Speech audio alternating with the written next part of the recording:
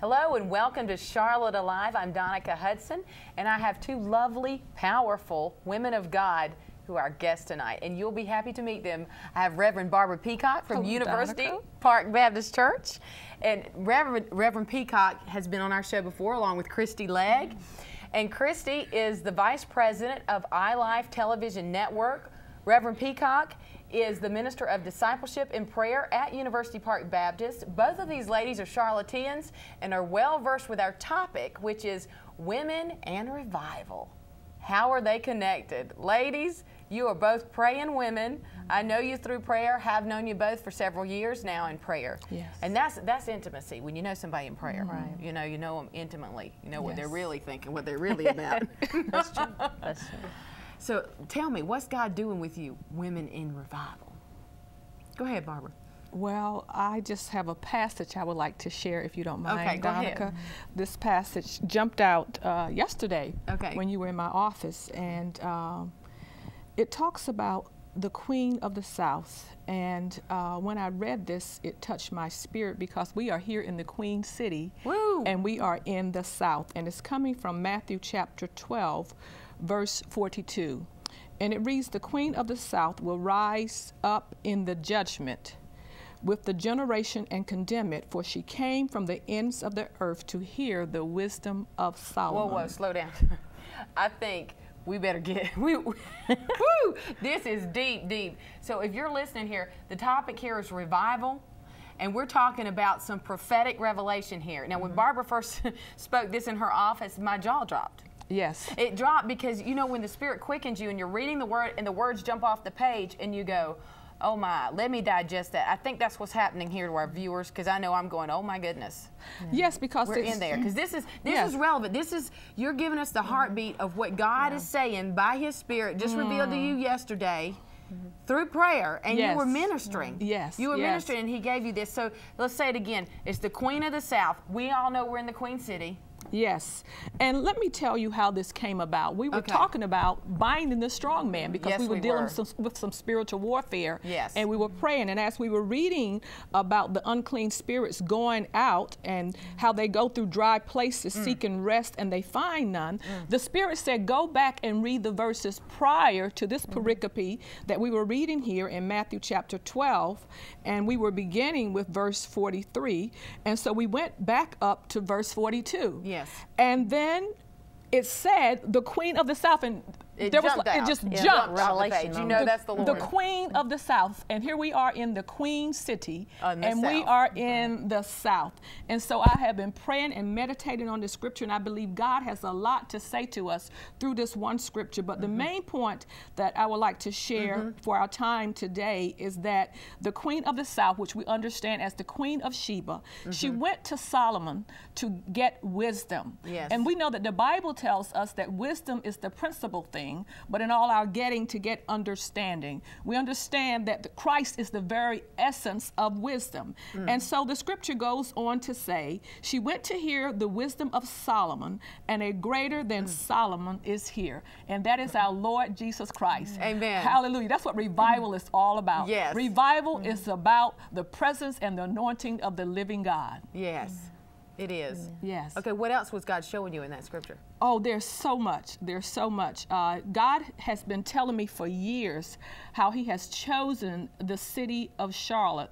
And even having lived in New Jersey and God moving us here 10 years ago, mm-hmm. we prayed 15 years to move to Charlotte. Mm-hmm. And God did it. And so we have been praying for revival in the city of Charlotte.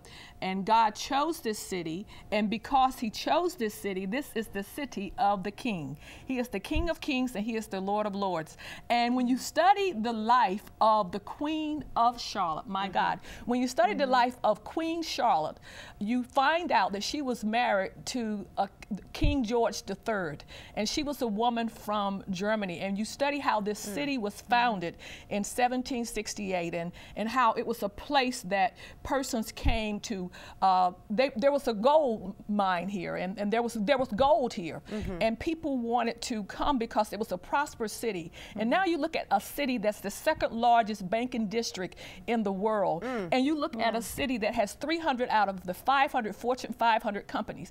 God is doing something awesome here, and we need to get on our knees and pray. And I still stand on the word that I've stood on from the beginning, 2nd mm. Chronicles 7:14, mm. which mm. says, "If my people who are called by my name will humble themselves, Charlotte, humble yourself and pray, Yes. and seek the face of God. Then Charlotte will hear from heaven. Then God will forgive our sins and heal our land. I can feel the revival on the streets. I can feel the mm-hmm. revival on the pavement. Yes. I can see the revival in the buildings. And revival is here, and revival begins with us. It's a personal relationship with God. And as we ask God to cleanse us and to purge us, then we'll be prepared corporately to go forth and to experience what God has for us even before the foundation of the world. Mm. God bless the Queen mm. City. We will continue to pray and cry Amen. out to our Lord mm-hmm. Jesus Christ. Amen. And you know, you both have something in common in that you were drawn to Charlotte. So were you, Christie. Well, I- about the I same actu- amount of years ago. I actually came kicking and screaming, drug my heels all the way here, saying, "Oh God, no, no! You know I'm a Texan. That's where we're born. If you're born there, you're supposed to die there." And I never, never even thought the Lord had shut all the doors for i- mm-hmm. anything else in Texas. Yeah. And this was what opened, and it, it was a divine opening with a Mm-hmm. wonderful uh, professional speaker who's still a friend of mine. And I had no idea to get into television. Yeah, Uh, but God I wasn't even watching television. Thought it was crazy. Yeah. You know, especially Christian television. And now you program an entire network. Yeah. You run the iLife Television Network, which Yeah, is program. 8 million. Nine, Nine nine digital cable households.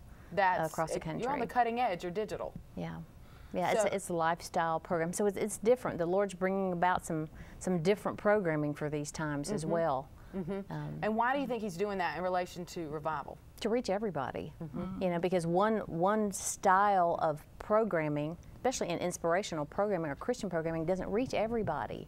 Uh-huh. And so there's a whole new genre out there. There's a, there's a whole new market out there, a world of people, especially the younger generation, Uh-huh. that are being completely missed. Yes. You know, and now we're into the, all of the, the new technology Uh-huh. with And- iPod TV and VOD and all that stuff. And your network is, is lifestyle network.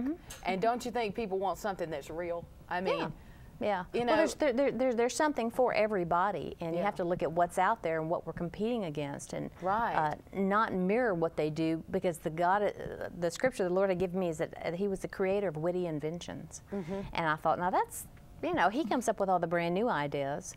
There's nothing new under the sun, Mm-hmm. and we don't want to mirror what what the world is doing. But how can we take it and do it better? Mm-hmm. Because what the message that we have is eternal and it's everlasting, and it's um, it impacts you for for eternity. Mm-hmm. So it, it, it's much more important than just something you see on secular television.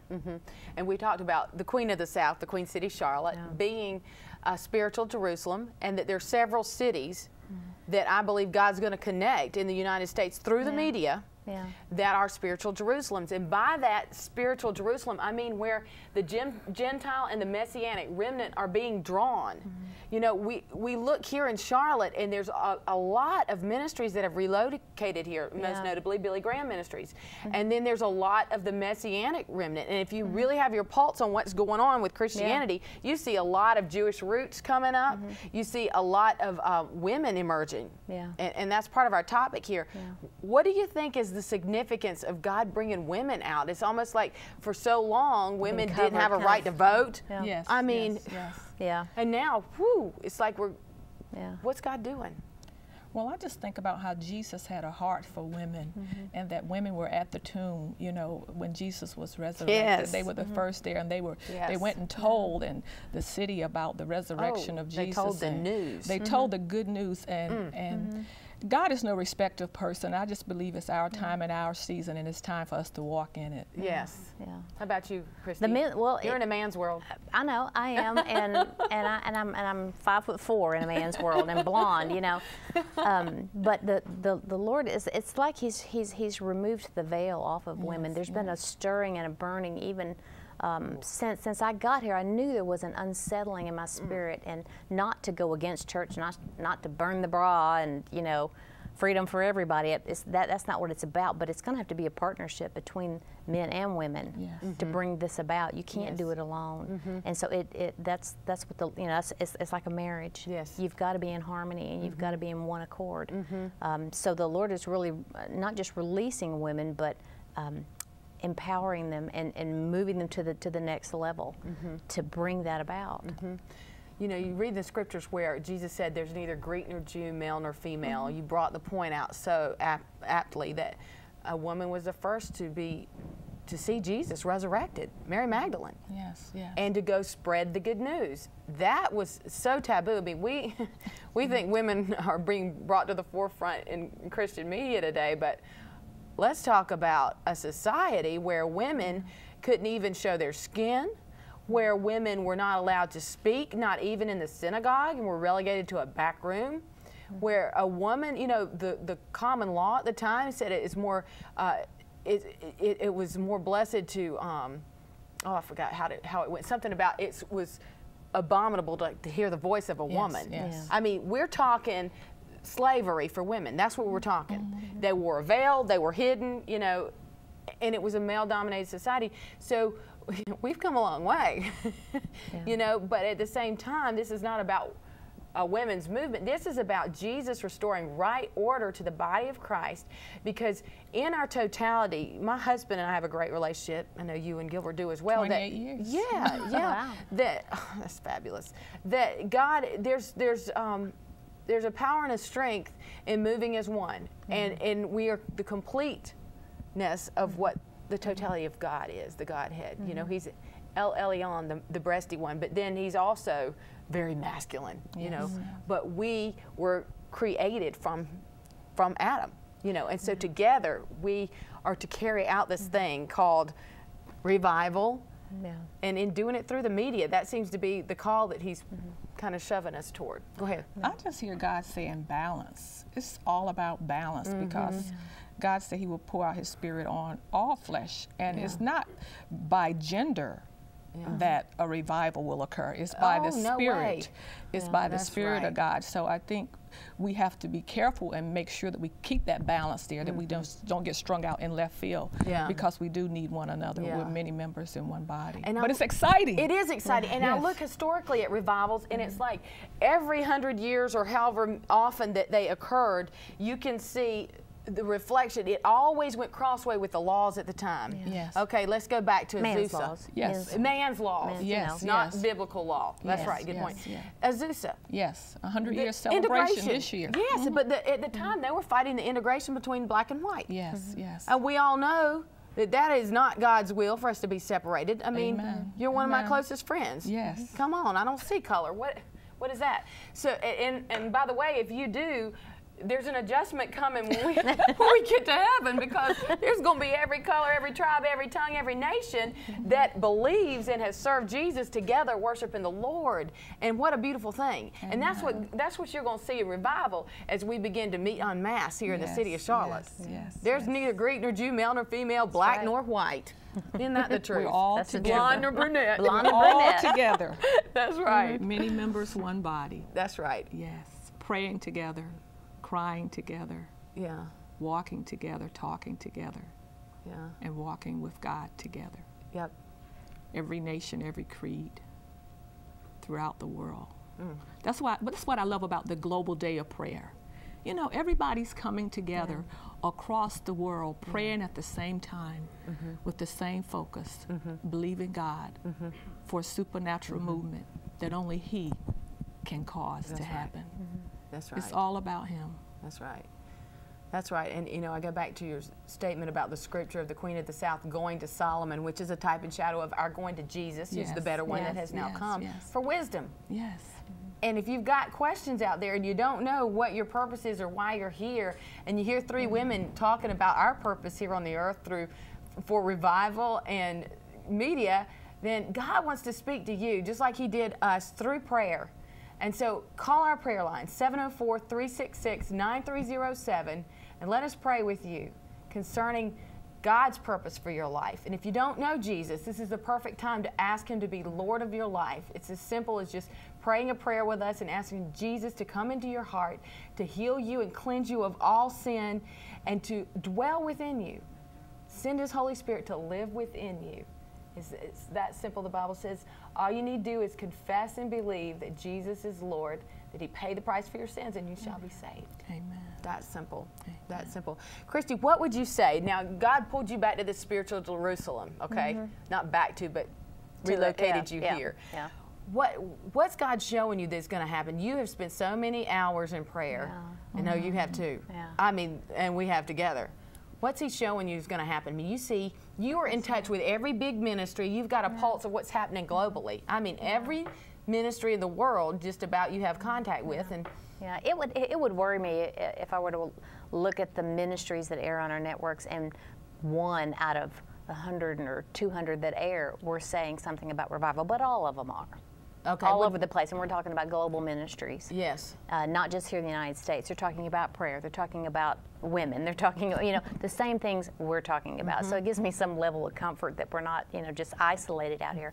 I know that um, when you and I began praying five five years ago, one of the first things, uh, I, I don't remember if it was a dream or, or a vision. It must have been a dream that I had one night about a giant white tent that covered mm. the map of the United States. Mm. I'd never seen a revival tent. I, I, I didn't know what that was, but that's what that was a tent of revival.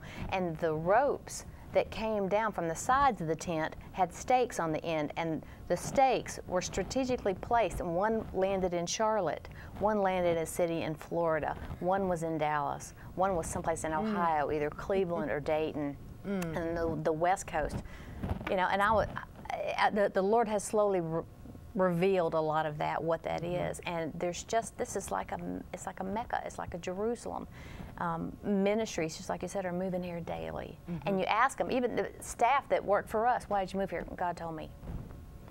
The lord told you to pick up and move. Of course you know i came kicking and screaming but and have tried to move back and the lord has said no this is your assignment this is where you're supposed to be because there's something going on here that that that you that i have predestined for you to be a part of mm-hmm. and I, and i don't want to miss that Right. but there's so many ministries that are that are relocating, and they're relocating to other places as well. And I, there's just this network. I'm I'm meeting people from across the world, and and especially the United States. Just that we have something in in common. We're thinking the same thing. We're, uh-huh. we're hearing the same thing uh-huh. from God. There's this rumbling in the spirit. There's mm-hmm. this excitement mm-hmm. that, that can't be squelched. And the, uh, the picture the Lord uh, Lord always gives me is that um, a, a fire on, on the top of a stove being turned up. Mm-hmm. That, that the, the flame of the Holy Spirit is being cranked up. It, it really is. And it's just you know how do how do we function in that? How do we hold on till Jesus comes? You know, without exploding. Yeah, I know, and, and it's a good thing mm-hmm. because, you know, we really do have to pray to make it today. yeah, that's true. To quote MC Hammer. Yeah, yeah. we really do, or we will explode. I mean, there's mm-hmm. there's so much that comes at us, mm-hmm. and at the same time that God's cranking up the fire, the fire is increasing. Oh, Absolutely. Yes. I mean, big time. That's why you know when you were reading this scripture about really, it's about deliverance. Yes. It's about not only for individuals but strongholds over city, Yes. over cities, and um, I think that a lot of the warfare we experienced prior to coming to tape today was because of this revelation. Yes, yes. You know, and yes. what's God saying? What What has God put on your heart, Barbara, about deliverance for our city?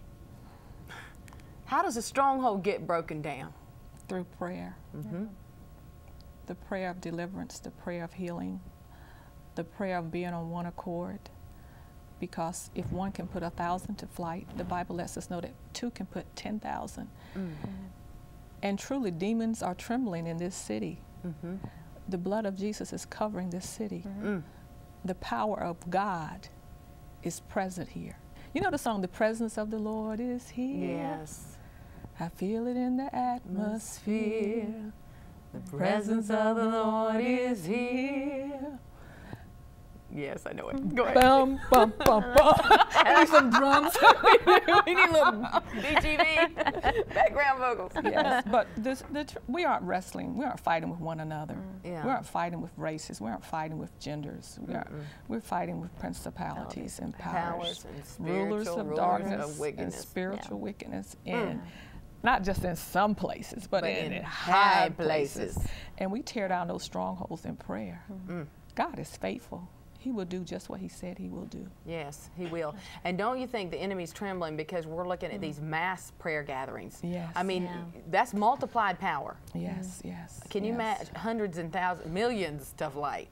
Yes, millions to yes. flight. You know, and we've we've covered some strongholds that have been broken in the city. Like um, I consider one of those the sexual immorality stronghold. yes. Um, I take it a sign that the Charlotte Pride is not gathering in Marshall Mm-hmm. Park.